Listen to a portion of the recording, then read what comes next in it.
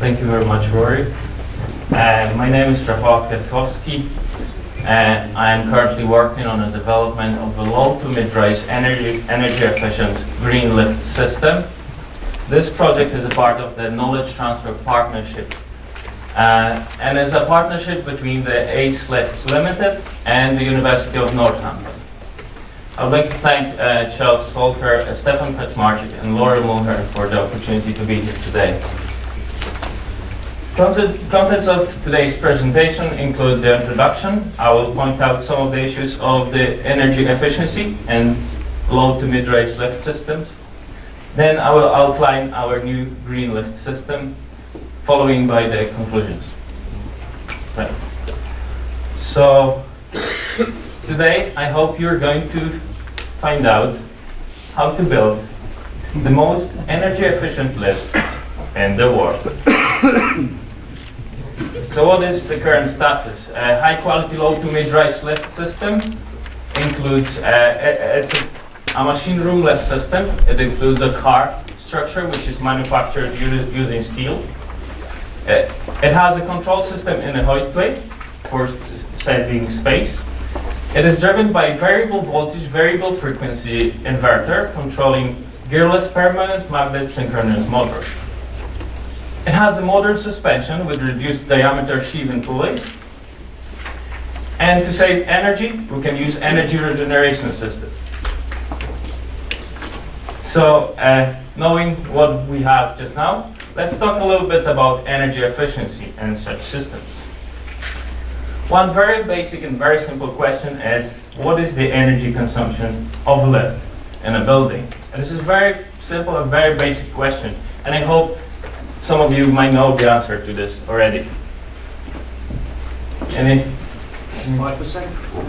Okay. I, I did some research just to find out that depending on the source, you can find out it's either 5 to 15%, 3 to 5, or 3 to 8%. This indicates to me that this is just an estimation, a guess, and it's really hard to say what is the consumption of a left in a building. Uh, well, this uh, also, just, I just had this on my mind. If we, well, in the modern world, when most of you have a sophisticated uh, PC device in your pocket, which we still used to call a mobile phone, we, we cannot answer this very simple and very basic question. There is, however, some good initiatives. The ISO standard 25745 uh, stroke 2, uh, this will allow us to assess energy efficiency of a new lift system. So we will have a chart, as you can see, and we will be able to tell whether our new lift is energy efficient or not. However, this method has got, has got some downsides. The downside is it's still based on some estimations. And I am a mechanical engineer, so I know that we can estimate something, but I really like reality. I don't like estimations. So uh, one more point is that 62% of energy could be saved using best available technologies. But why would we want to save any energy if we don't know how much we spend? And if we don't know how much we spend, we don't know how much we could save.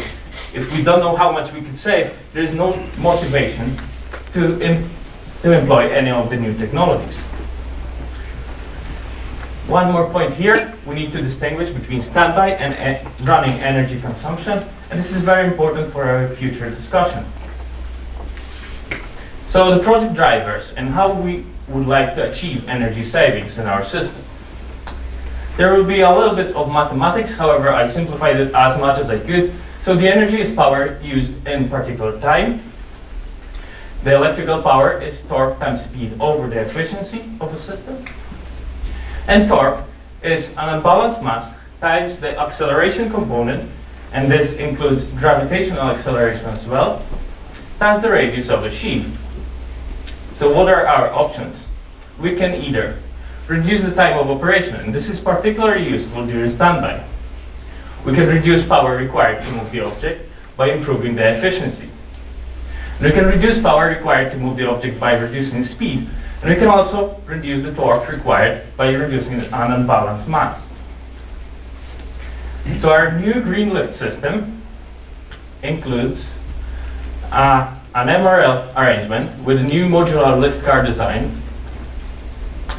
It's driven by, by latest technology drive and suspension uh, gearless permanent magnet synchronous motor using VVVF inverter.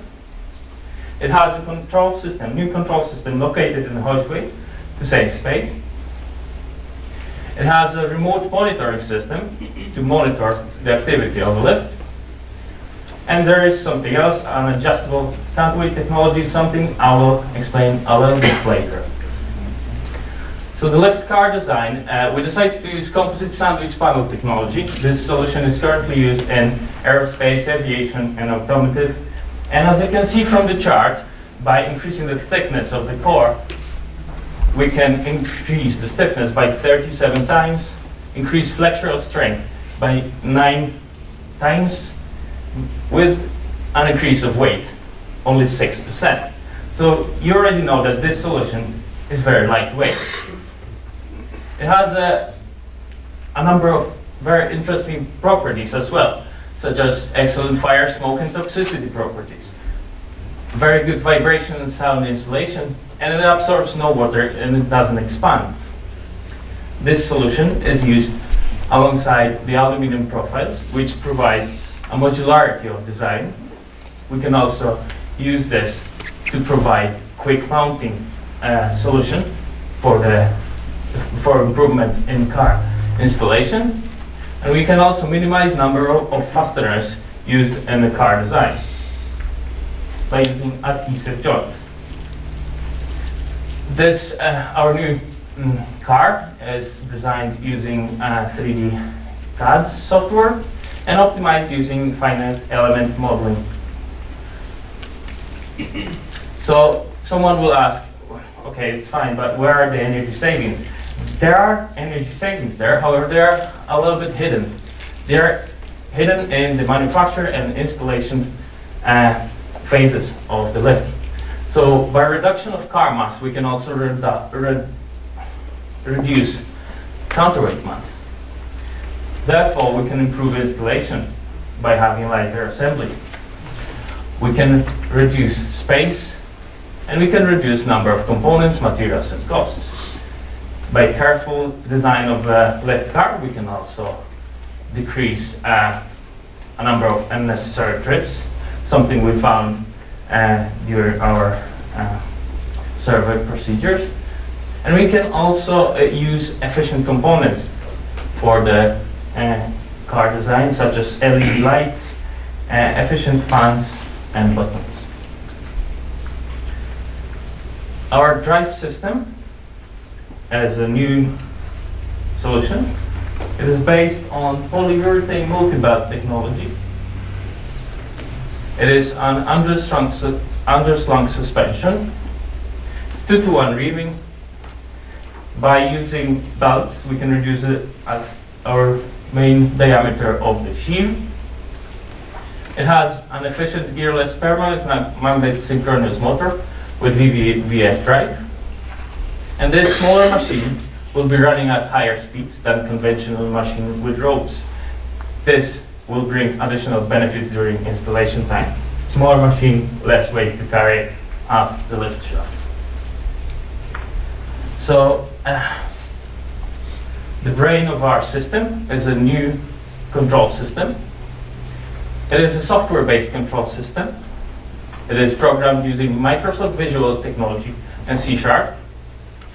It is based on open protocol, CAN open lift, and CAN bus. It is possible to mount main controls indoor architrave. we embedded two energy saving modes in our controller. By using a software-based system, we can achieve less wiring, less components, and less connections. Additionally, we have a standby function in our microcontroller, which we can use. So if the brain of our uh, new system is our new control system, the remote monitoring system is, uh, is a central, central nervous system in our design. This system is a state-of-the-art device that can be added to most lifts regardless of age or manufacturer. It transmits using mobile phone signal to the internet, so we can log in into it from your laptop or any internet-enabled device. Uh, this system then monitors all important aspects of the lift, enabling the lift owner, a lift engineer to make better informed choices about the lift maintenance and plan condition-based repairs. This system includes uh, GSM technology, allowing for wireless connection. It has an ability to monitor lift performance 24-7. It is based, uh, it has a modern interface, including Ethernet, USB, Open Protocol, CAN bus, and RS485 connections. It has simple opto-isolated inputs with volt-free relay outputs, which will allow to monitor opening the, closing door limits, lift movement, interface to calls in, remote control, and generate pseudo fault logs. We also implemented a voice transmission in our module, so it has an auto dialer. It could be used as an auto dialer. It's a modular design, which will allow us to connect continuous load monitoring module temperature monitoring module, which with the future uh, options that we consider feasible, condition monitoring and energy monitoring as well. This is our main screen of our system. And we have a live view so we can monitor what happens in the lift. We can uh, monitor a number of lifts at the same time from our panel. We have usage statistics, floor level monitor. We can monitor ride quality. We, we have a maintenance log. We have remote control. Uh, we can also mo monitor temperature, and this is a future option. We can monitor energy. And by having this system, we were also thinking how to use this capability to improve our energy efficiency of the system. As you remember, the energy is power used in particular time. We were thinking to use, uh, to decrease the time of operation by using uh, two power saving modes. One is eco mode, so switching off uh, a number of components on a continuous basis with a short delay. The other power saving mode will be our sleep mode. So after a certain period of inactivity, uh, our lift controller will, will go to sleep by having this, we started thinking a little bit further. So we developed a concept of activity maps. And this concept, concept allowed to monitor using the icon. It will allow you to monitor when the lift goes into sleep mode. So then we have an understanding of the operation of the lift in a particular building. And this is very important because knowing how the lift operates, we can uh, introduce even even more sophisticated energy save, saving strategy.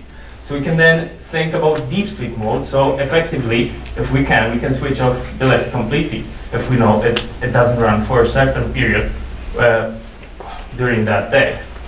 On the chart here, you see uh, seven stripes which represent days of the week so that we compare day to day on a weekly basis.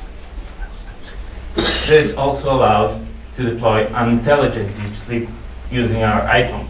As you remember, we can control the lift from the icon as well. Future work will include annual prediction. For example, we can reduce uh, speed of, of our lift during low traffic period. And we can also think about putting the lift into sleep, deep sleep mode during holiday seasons when the lift won't operate at all. so by now you probably think well, we've seen most of it and there's nothing special about our, our project and our development. There is something else though. Uh, there is a, there is something we need to think about that uh, if you remember our equation for power is torque times speed uh, over the efficiency. And now the key word here is the efficiency.